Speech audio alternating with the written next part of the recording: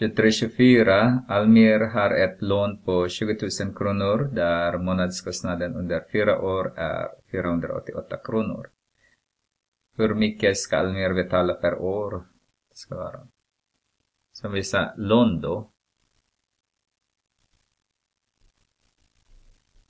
Lån på 20 000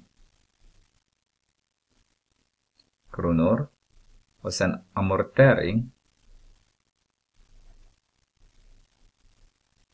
är där månadskostnaden under fyra år är 488. Det är lite konstigt formulering kanske.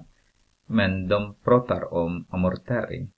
Alltså, det finns också sådana. Eh, man kan komma överens med eh, kreditgivare eller långivare. Att jo, vi struntar i hur många procent är det. Men nu lånar du 2000 och du betalar så här mycket varje, år, varje månad ser de. Så det här är amortering, kanske inte riktigt amortering, att betala kanske heter det. Det här är fel. Det är inte amortering. Att betala, att delbetala kanske. Tala. Så har vi per månad. Okej? Okay? Så nu ska vi svara på de frågorna hoppas jag. Hur mycket ska Almir betala per år? Så har vi 488. Multiplicerar med 12. Det är på ett år, därför att det är per månad, så 12 månader. Så får vi 5856 kronor per år.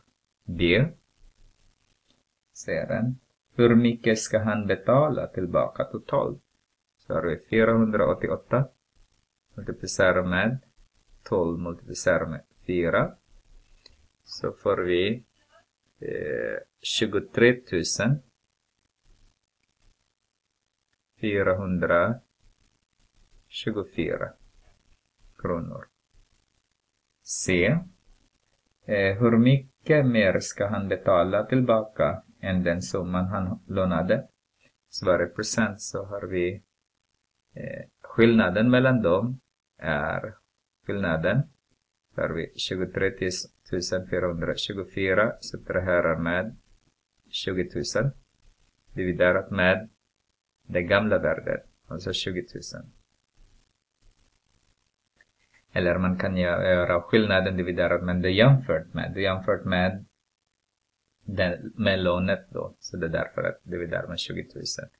Då har vi 3424 dividerat med 20 000. 3424 dividerat med 20 000. Då har vi 0,1712 eller 17,12 procent. Att vara exakt, men jag tror i er bok har de skrivit 17 procent bara. Men att vara exakt, det är 17,12 procent.